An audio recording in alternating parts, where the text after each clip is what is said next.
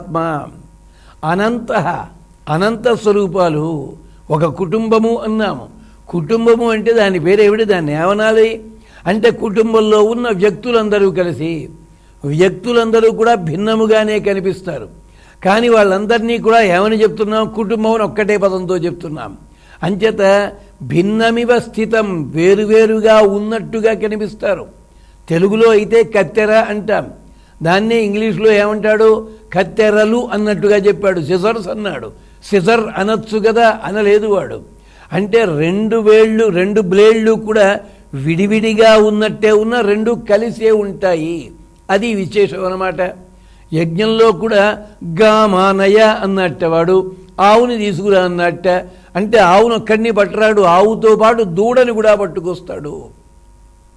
ఆవుతో పాటు దూడని మాత్రమే కాదు ఆవుని తీసుకొచ్చేటప్పుడు తోలడానికి కావలసిన కంచీకర్ర తీసుకుంటాడు. ఆవు పాలు పితగాలంటే పితగాల్సిన పాలు ఉంచడం కోసం కంచు పాత్ర పట్టుకొస్తాడు. ఆ పొదుగు కడగడం కోసం ఉపయోగించే నీళ్ళున్న పాత్ర అది పట్టుకొస్తాడు. దూడ పాలు తాగేయకుండా ఉండడానికి దూడకి మూతికి కట్టాల్సిన బుట్ట పట్టుకొస్తాడు. ఒక్క గామానయాన్న ఒక్క పదానికి ఇన్ని పట్టుకొస్తున్నాడే. అంటే భిన్నమివ అవస్థితం విడివిడిగా ఉన్నట్టుగా కనిపిస్తాయి. కానీ భగవంతుడు లేకపోతే ఇవి నిలవవు కదా. నీవు లేక ఏ తనువులు నిలుచును అంటారు అన్నమాచార్యుల వారు. అంచేత భగవంతుడు సృష్టి అంతా కూడా ఒకటే ముద్ద విడివిడిగా కనిపిస్తోంది. అంటే నా దదస్తి వినా నేహ నానాస్తి కించన నేను లేననుకో అక్కడ తత్వమే లేదు బొమ్మన్నాడు పరమాత్మ. అలాగా అర్జునుడు యుద్ధానికి వచ్చాడు అన్నాడు కురుక్షేత్రంలో. అర్జునుడు యుద్ధానికి వచ్చాడంటే లింగులు ఇటుకుమంటే అర్జునుడు వచ్చాడనే. కృష్ణుడు కూర్చున్న రథం మీద ఉండి అక్షయతూణీరాలతో సహా వచ్చాడని అర్థం అనమాట ఇలాగా. అంచేత భగవతత్వం అన్నది విభిన్నముగా ఉన్నట్టు భిన్నముగా ఉన్నట్టుగా ఉంటుంది. అది అభిన్నం మాత్రం గుర్తుపెట్టుకో. ఇది తెలిసేందనుకో వాసుదేవ సర్వ ఇది అదే కనుక నీ జ్ఞానం వచ్చిందనుకో ద్వేషం ఉండదు సమస్థితి వచ్చేసింది పరమాత్మతత్వాన్ని తెలుసుకున్నావు ఆహార నియమం వచ్చేసింది అక్కడి నిర్వాణ పదం నీ చేతికి వచ్చేస్తుంది అంతే ఇంత తేలిగ్గా నువ్వు చేయవచ్చును. దాన్నే మన వాళ్ళు సముద్రాల రాఘవాచార్యులు గారు అంటారు గాలిని బంధించి హఠించి గాసిల పని లేదు.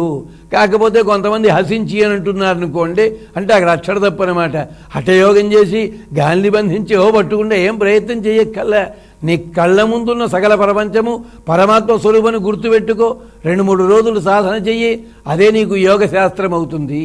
ఇదనమాట పద్ధతి. దానికోసం నువ్వు ప్రయత్నించు.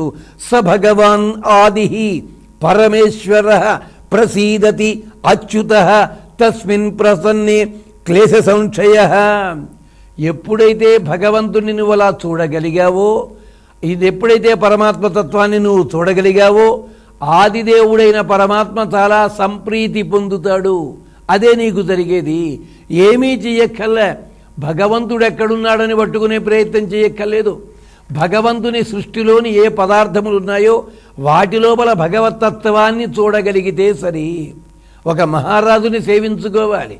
మహారాజుని సేవించుకోవడానికి మనకు కుదరదు.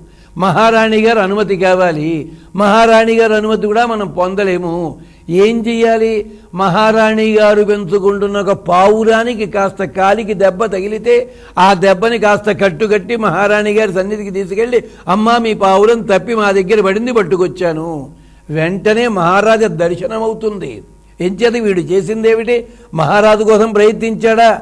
లేదు. మహారాణి అనుమతి కోసం ప్రయత్నించాడా? లేదు. వీళ్ళిద్దరికీ ప్రీతిపాత్రమైన ఒక పావురాన్ని రక్షించాడు వీడు. ఇంతే. అంటే భగవతత్వాన్ని పట్టుకోవాలంటే భగవతత్వ సంబంధమైన వస్తువుల ఎందు ప్రేమ కలిగి ఉండు.